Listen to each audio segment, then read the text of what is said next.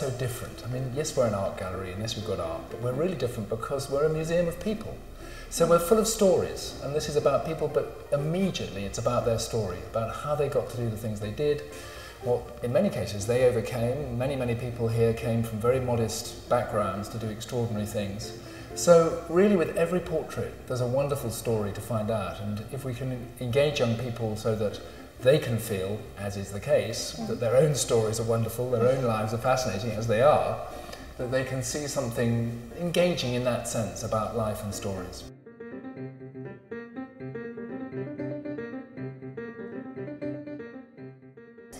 The portraits that come in are really about the sitter. I mean, of course, we care about the artist, so whether we're looking back, you know, if it could be a great Joshua Reynolds painting from the 18th century, that matters if it's possible. But we always start with the sitter first, and when the gallery was started in the 1850s, 150 years ago, that was the idea, and it remains the idea.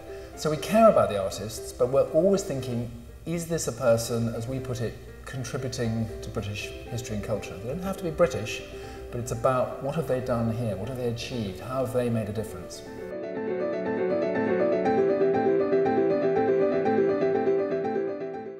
This is a National Portrait Gallery, and everywhere I walk, I see pictures of people, Yes. people, people. But this has not any type. No face. No face. No face. It was commissioned in collaboration with a foundation called the Wellcome Trust, who do a lot of work in medical research. And they wanted, with the gallery, to make a portrait of this person, Sir John Sulston. And John Sulston's fantastically important because he's the guy who basically cracked the genetic codes of DNA. In other words, what it is that, at essence, makes us up, what it is that makes you, you, and me, me. And this was an incredibly important piece of work. Anyway, so when they discussed it, they invited the artist Marc Quinn to say, instead of conventional portrait of Sir John Sulston, why don't we have John Sulston's own genetic material? Because this is Sir John Sulston. I mean, theoretically, this genetic material, you could take this and you could produce Sir John Sulston from that.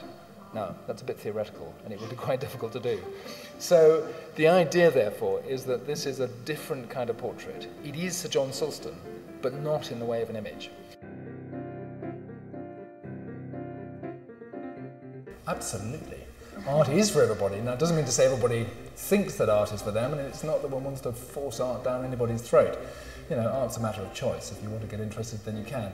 But the real point, I think, about a gallery like this, and we have a young people's program to encourage young people to come and take part and activities and all kinds of special things going on, is that we want to make people feel that they're part of it, that it's a story for everybody, that they can be engaged, involved, and they can change it, that they can make it different too.